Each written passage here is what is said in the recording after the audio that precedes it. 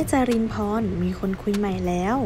อีกหนึ่งนางเอกสาวมากความสามารถและฝีมือไม่ธรรมดาอย่างเต้ยจารินพรที่ล่าสุดเจ้าตัวได้ออกมาเปิดใจ หลังช่วง 2 ปีที่ผ่านมา เรื่องความรักของเธอนั้นไหลวิแววความหวาน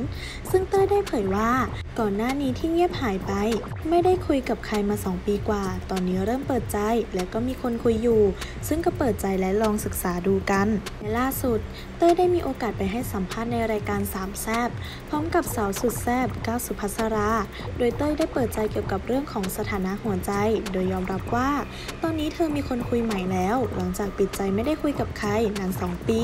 โดยกำลังอยู่ในช่วงกำลังศึกษาดูใจกัน แต่เมื่อทางพิธีกรหนุ่มกัญชัยถามว่า ใช่คนในวงการหรือไม่ เต้ยหัวเราะ แต่ขออุบเงียบ เชื่อหมอดูบอกว่าไม่ให้พูด และเมื่อถามว่า ใช่คนในช่องเดียวกันไหม เต้ยก็ยืนยันว่ายังบอกไม่ได้ตอนนี้ นอกจากนี้เต้ยยังพูดถึงเรื่องอดีตคนรักอเล็กธีรเดชที่จบความสัมพันธ์กันด้วยดีเหลือเพียงมิตรภาพที่ดีต่อกัน แต่เป็นเพื่อนที่คุยกันได้ เต้ยรู้สึกยินดีกับรักครั้งใหม่ของอเล็ก ส่วนโบก็น่ารักเห็นแล้วรู้สึกเอ็นดู ดูว่าเหมาะสมกัน